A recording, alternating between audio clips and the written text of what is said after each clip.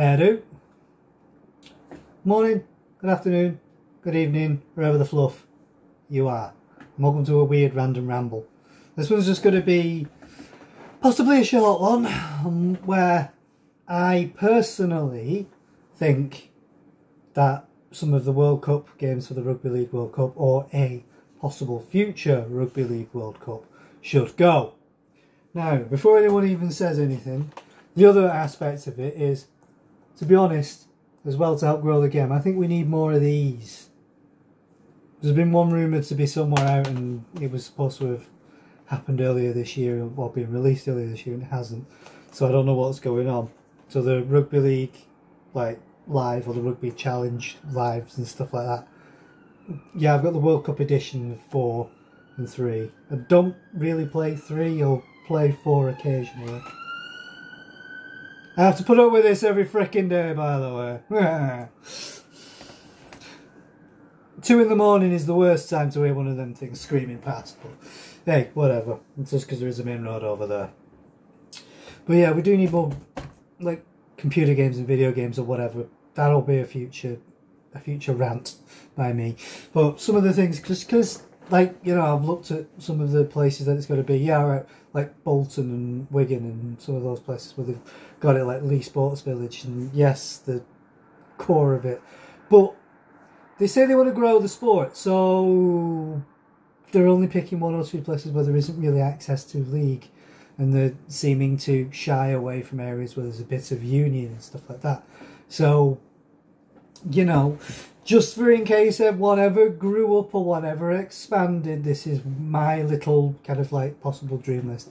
I'm just going to pick some places at random off of basically what is the updated or hopefully updated wiki page for some of the places. Obviously, there's going to be like Wems and Old Trafford and Spurs Stadium. They're obviously going to be there. You know, Anfield, question marks on Anfield because of something to do with when um, the European Cups or whatever was supposed to be going through Anfield is apparently too too small. I don't know about that, but there's a possibility Anfield could be okay with that because I'm sure we've played uh, league games in Anfield before. You know, I'm going to say that. But I'm going to just pick some places because I speak to a few people from one area in particular, Southampton. So, how about using Southampton because St Mary's? That's a 32,500 seat stadium. Yes, it's a mono bowl. So, most of the stadiums that we're playing up here are mono bowl. You know? So you could get what? call it 28, 30,000 peeps in there. Get that. That would be a cracking place. You know, same idea at Brighton. You know, this it, that would look good on the cameras. You know, just for the spectacle of it. That would look good. I, don't, I would say St Andrews, but I don't really know what's going on with that because some of the things I've seen on the football highlights, the place is having seats ripped out and banners put around in certain places. So I don't know what's going on safety wise or condition wise with that. But it looks that would be kind of like an, an odd one.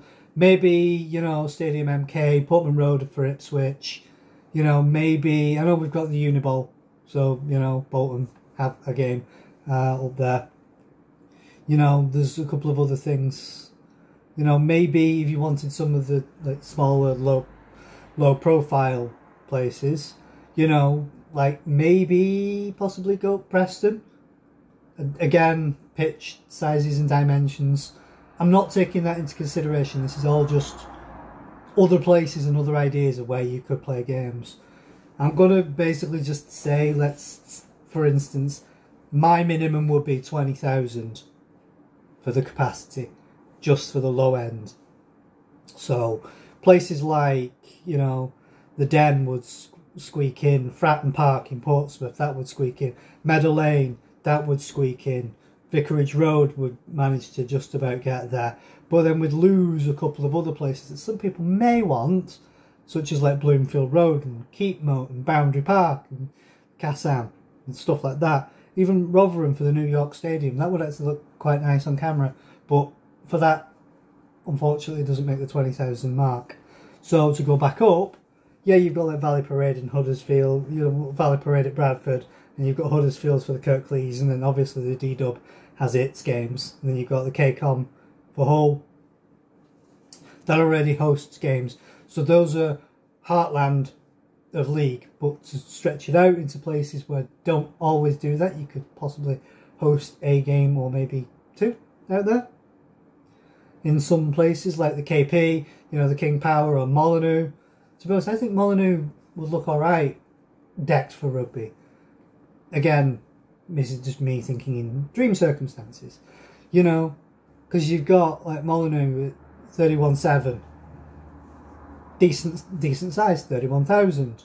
You know, the, the KP, the King Power, again, 30, 32,000 and change. A little bit smaller than St Mary's, pretty much the same design. So you've got that. Maybe, I know Sheffield does have like the Sheffield Eagles and stuff like that. I think it's the Sheffield Eagles. Don't quote me because I'm just ad-libbing here. I'm running off the top of my head.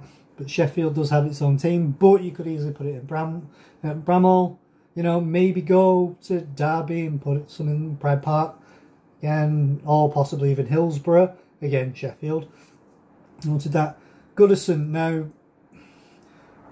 Goodison would look alright for the history because it is an old stadium, but the new stadium for Everton would look even better. Now that could be kind of like you know a semi-final ground. Same for like you know go to Sunderland Stadium of Light. That could be a semi-final, you know, ground. St James's Park. Regularly the Magic Weekends are up in St James's Park, so I believe that one's also in the mix as well. Obviously, there's going to be game. There's going to be a game or games at Emirates. Yeah, obviously, you know that is there. You know, yeah, we have had games at the Etihad as well in Manchester. You know, the London Stadium, I believe that's hosted some games at some point. Tottenham hosted the recent thingy, you know, the um, recent Challenge Cup, which Wigan won. You know, there is places that we could go that don't always have a heartland of it. Maybe even, I know that if it wasn't just England, if you stretch it out a little bit more towards like Scotland or Wales, just for instance, because you've got Cardiff in there at a 33 and change that could host some ones, and I know that is a Union Heartland, but still. That would look alright. I know it's mostly monoball. But come on. Sometimes we do need a little bit of ideas and a little bit of more thinking. Sometimes you can have league play in a union area. It's the same with union would play in a league area. You know, if you want to grow the sport, as you say, RFL, why are you not concentrating a little bit more on spreading it out in the areas that don't see it? Especially those that even don't have union. But it's like, eh, you know, it might work. Plus, having some of the training facilities, alright, yeah, obviously have the training facilities and stuff in League Heartland or Rugby Heartland, for instance, because you could possibly borrow some of the things from some of the Union, because not all the time would Union be running, would Union be needing all of their stuff. There is a chance you could do that.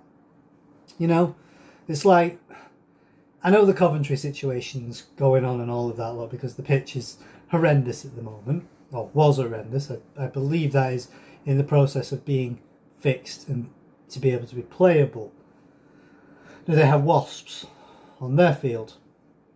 Not actual the animal wasps, as in wasps, or what was London Wasps, as the rugby union team. So they have that playing in Coventry, you know. So they could easily do that. You know, that's a stadium that is of, as some people have multiply quoted, mono bow look, and it works.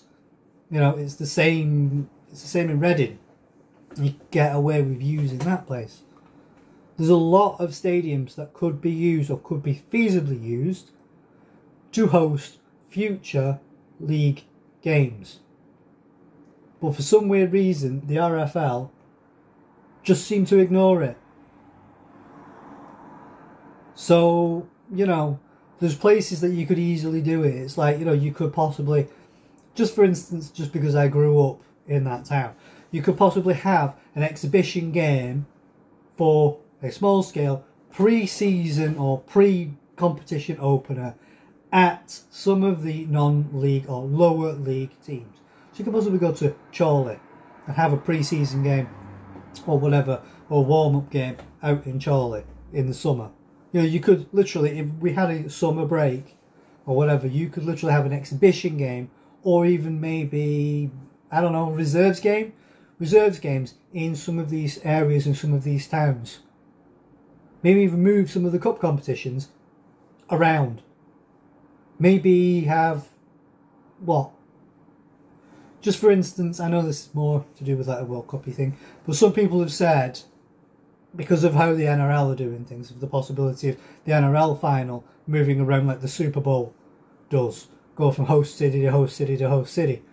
Well, maybe we could do that at some point. Keep it in areas where there is big stadiums. So, London, you know, down in the Midlands. So you could have like Villa Park. You could have, if Molineux ever did get done up to its 50,000, whatever its future ambitions is, you could possibly have Molineux hosting some of those. You could even do it at Anfield once it's fully redone with that, with the Anfield Road end done. You could possibly take it to Everton's new stadium and do that. You could move it around London. You know, you could have it at Old Trafford. You could have it at the Etihad. You could have it up in Newcastle. You could have it at Sunderland. I know we don't have many giant stadiums outside of some of the mega cities, but this is how it works, unfortunately. You know, you could even get away with some of the, like, you know, maybe a semi final or something for, you know, the Challenge Cup. Have those at Nottingham at the, you know, the City Ground. Or you could have them, or you could even have them at Molineux, or have them in Leicester, or even use, you know, Leeds, not Leeds Rugby Stadium, but Leeds Football Stadium. Get away with doing some of these things like we have done in the past. There's a lot of other stadiums that don't just host rugby or are not within that heartland of rugby. You could get away with it. So, what do you guys think?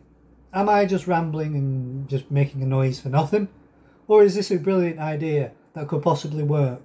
And maybe have one or two games each rung go through to different places and lower the amount that some people have been saying that I have I have noticed when people have been saying, well, why aren't you growing it here? Why aren't you growing it there? Because, oh, heartland, heartland, heartland. You're only concentrating on the corridor. Rah. So, what's your ideas? Where else do you think that we should play it? Or do you think we just, just scrap it off altogether because we're shit? Stick your ideas down below. Anyway, that's been me rambling on.